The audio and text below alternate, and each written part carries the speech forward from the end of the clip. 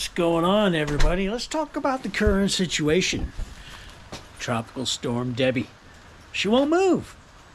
She's sitting there, churning off the coast. I think she moved a little bit. I'm inland. I'm not on the coast, so I'm going to get those heavy rain bands that come out ahead of it. And, um, you know, I got some quirky things about my house that is going to make this interesting. You know, you know, I, I water collects here. It gets up on the porch. We'll see what the 5:30 update has to say.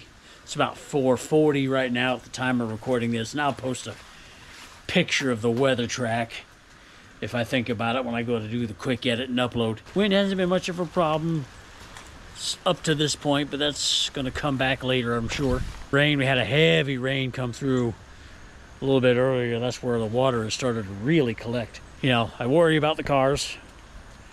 As long as the wind keeps doesn't kick up, it shouldn't be that big a deal. My main concern uh, is actually with with the LT1.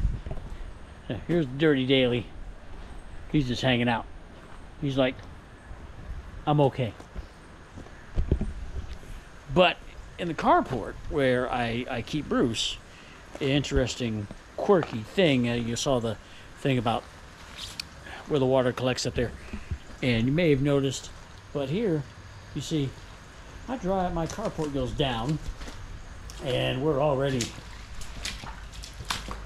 collecting water. And this would happen on a this would happen on an ordinary heavy rain. Now I don't think we're going to get the 20 inches that had been originally forecasted, but there's going to be several more inches, I think.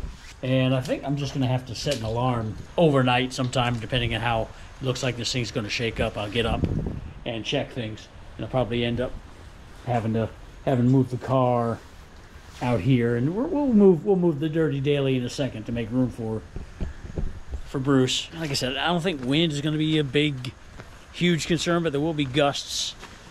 Probably, you know, some 30 plus mile an hour gusts. If we look out here, we look at what I got. I mean, I got these tall, I think these are loblolly pines. Hell, that one up there, there's like, it's probably 100 feet tall. I don't know. Now, these those have deep root systems, so that's not likely the whole tree itself isn't likely to come down, but they'll drop a limb in a heartbeat.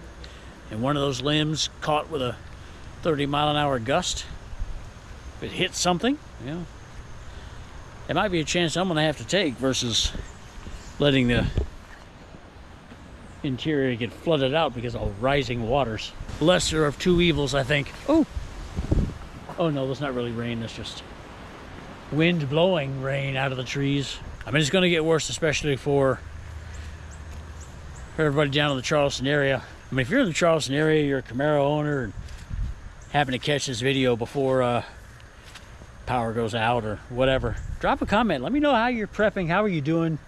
Uh, obviously, you got to take care of your family first. Property comes second. But if the opportunity comes take care of these cars, please do so since GM ain't making them anymore at the moment until they go EV, whatever. Before I lollygag too much, let's get in here. Let's let's move the dirty daily. So there'll be room for Bruce to come out.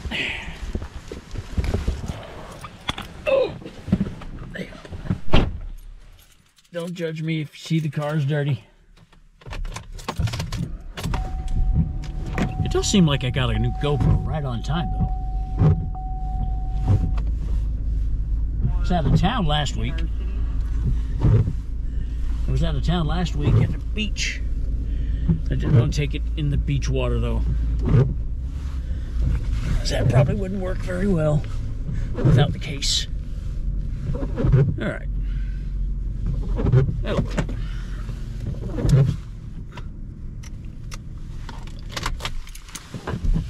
Yep, that'll do it.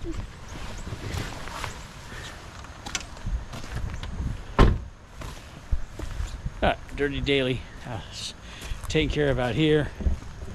Got a spot right here to back the LT1 out if needed. That's it, little buddy. You'll make it. That'll get more full later. All right. Wish us all luck and everybody ahead of us. North Carolina moving into the Northeast. Get ready now. Protect your cars if you have a chance.